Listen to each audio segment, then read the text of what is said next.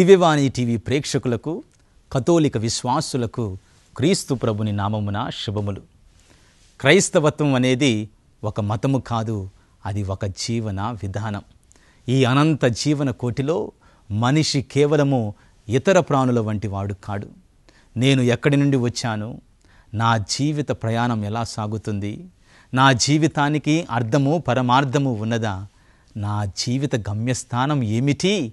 అన్న ప్రశ్నలకు సమాధానమే మన పునీతుల జీవిత చరిత్ర. ఎవరు ఈ పునీతులు? మనిషి పుడుతూనే భగవంతుడు ఎదుగుతూనే మానవుడు దిగజారుతూనే రాక్షసుడు సాధనతోనే కృషితోనే మహాత్ముడు పునీతుడు. ఎవరు ఈ పునీతులు? దేవుని నుండి గొప్ప కార్యములు కనిపెడుతూ దేవుని కొరకు గొప్ప కార్యములు తలపెట్టిన వారే ఈ పునీతులు. దేవుణ్ణి తెలుసుకొని దేవుణ్ణి ప్రేమించి దేవుణ్ణి సేవించి తద్వారా మోక్ష రాజ్యాన్ని పొందుకున్న వారే ఈ పునీతులు. మరొక విధంగా చెప్పాలి అంటే సిద్ధపరచబడిన మనుష్యుల కొరకు సిద్ధపరచబడిన స్థలమే పరలోకము. తమ్ము తాము ఈ లోకములో పరలోకము కొరకు సిద్ధపరుచుకున్న వారే పునీతులు. కనుక మనము కూడా ఈ పునీతుల జీవిత ఆదర్శమును చూచి వారి జీవిత ముఖ్య సన్నివేశాలను తెలుసుకొని ప్రేరణ పొందుతాం వారి మాటలు మనకు ప్రేరణ కావాలి. వారి విశ్వాస పదం మనకు సుమాతృక కావాలి. వారి జీవిత విధానము మనకు ఆదర్శం కావాలి.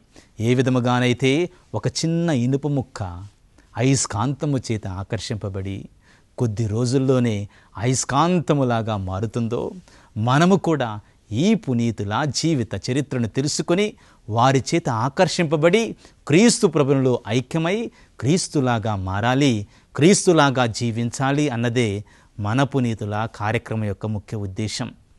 కనుక ఈ కార్యక్రమానికి మేమందరినీ ప్రేమతో ఆహ్వానిస్తూ ఉన్నాం.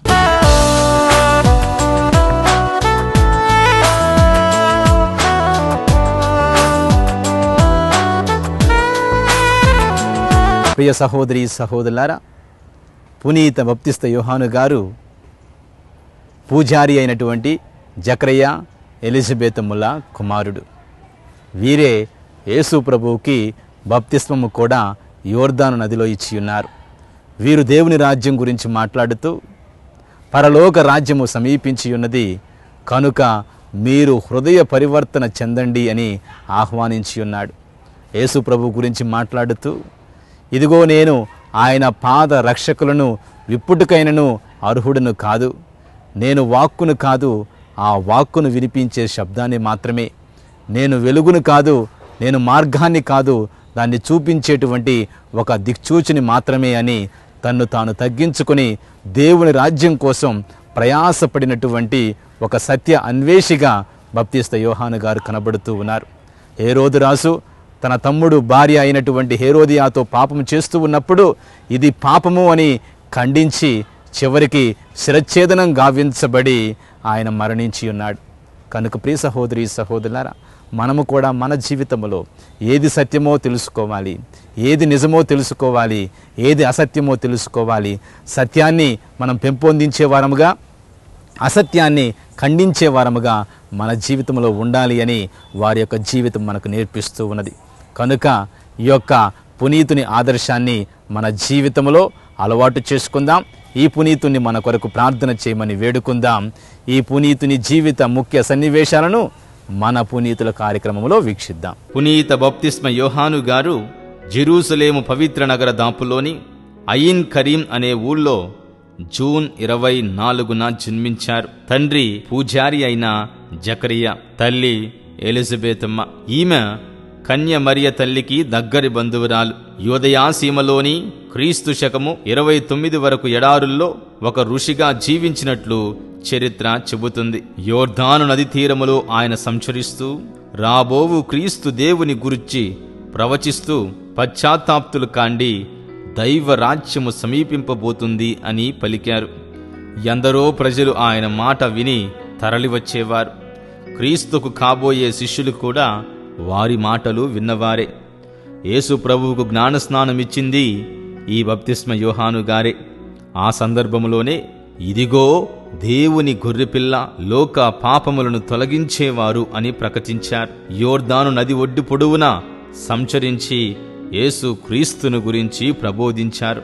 పునీత మార్కు శుభవార్తలో బప్తిస్మ యోహాను గారి మరణం గురించి స్పష్టంగా పేర్కొనబడింది. ఆనాటి పాలకుడైన ఏ రోజు రాజు అందగతి అయిన తన తమ్ముని భార్య అయిన హెరోదియాను అక్రమముగా పెండ్లాడటాన్ని ఆక్షేపించారు యోహాను. సరిదిద్దుకొమ్మని హెచ్చరించారు. అదే జరిగితే తన రాణి హోదాకు భంగము కలుగుతుందని హెరోదియా కుట్ర పన్నింది. హేరోదు రాజు జన్మదినోత్సవ సందర్భంగా తన కుమార్తె సలోమి చేత అద్భుతముగా నాట్యమాడ పురమాయించింది. అదే జరిగి రాజు ఒక కోరిక కోరుకొమ్మనగా హెరోదియా మాట చొప్పున ఆ బాలిక సలోమి యోహానును సిరిచ్ఛేదం గావించి తల తెచ్చి ఇమ్మని కోరింది.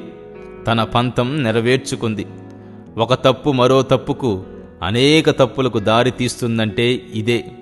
బప్తిస్మ యోహాను గారు క్రీస్తు శకము ఇరవై తొమ్మిదవ సంవత్సరంలో ఆగస్టు ఇరవై తొమ్మిదిన మరణించారు. యోహాను శిరచ్ఛేదం సంఘటనను ఒక ఉత్సవముగా శ్రీసభ కొనియాడుతుంది. ఆయన మరణం యేసుప్రభుని మరణానికి పోలిక ఉండటమే అందుకు కారణం. యేసువలే యుహాను గారు కూడా మౌనంగా నిస్సహాయంగా మరణాన్ని స్వాగతించారు. చిన్న నెపముతో పగ ద్వేషం మానవ పిరికితనం క్రూరత్వముకు బలిపశువయ్యారు. విపరీతం విడ్డూరమైన పరిస్థితుల్లో సంభవించిన వారి మరణం దైవం పట్ల పరిపూర్ణ విశ్వాసాన్ని విధేయతను ప్రకటించింది. చెడు అన్యాయాలు కలగలసి మానవ హృదయాన్ని నలగగొట్టి పిండి పెప్పి చీశాయి. పాలకులు పాలితులను నిరంకుశంగా పరిపాలించుచున్నారు. పెద్దలు వారిపై పెత్తనము చలాయించుచున్నారు.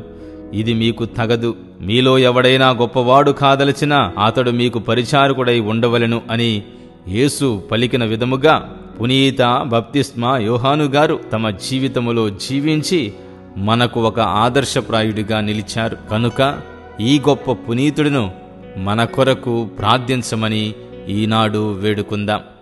ప్రార్థించుదము. సర్వకాల సర్వవస్తులకు స్థితిలేఖారకుడా.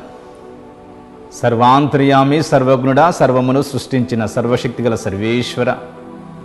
పునీత భక్తిస్త యోహాను గారిని మా అందరికీ ఒక ఆదర్శవంతమైనటువంటి పునీతుడిగా ప్రసాదించినందుకు ధన్యవాదములు తెలియచేస్తూ ఉన్నాం.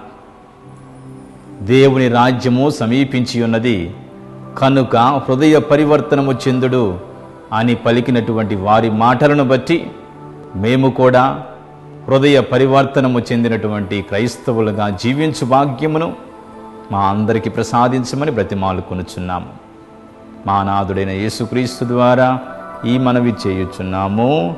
ఆమెన్.